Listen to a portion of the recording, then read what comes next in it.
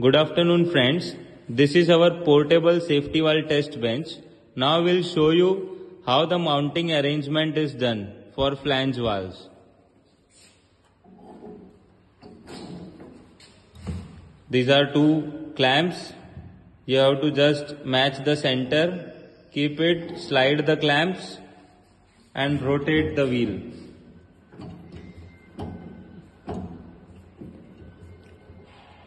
You can see the clamps coming down at the equidistance position and very simple clamping without any bolting or using spanners.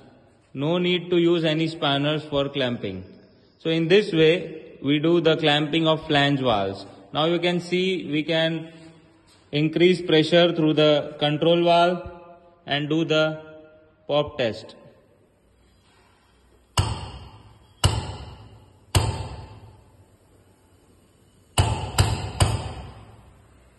In this way, we, are, we have performed the pop test. Now we'll discharge the valve using discharge valve.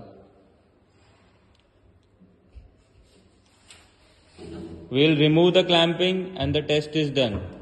Now I will show you the adapters for screwed valves. You can see here a hole where you can mount the screwed valve adapters which are provided along with the accessories. You have to just tight this adapter over the plate and you have to mount the screwed valve over here. You can see this is 2 inch screwed valve you can mount. Similarly we provide different adapters from half inch to 2 inch. Along with this we provide hydraulic hose, high pressure hose, o-ring gaskets and the leak test device for bubble test.